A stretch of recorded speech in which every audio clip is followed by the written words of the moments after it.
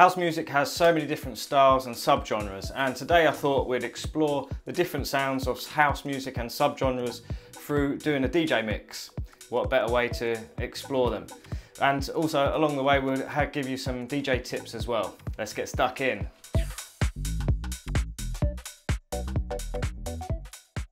Remember, if you want to get better at DJ, check out my DJ course. Just launched it this month. Lovely jubbly.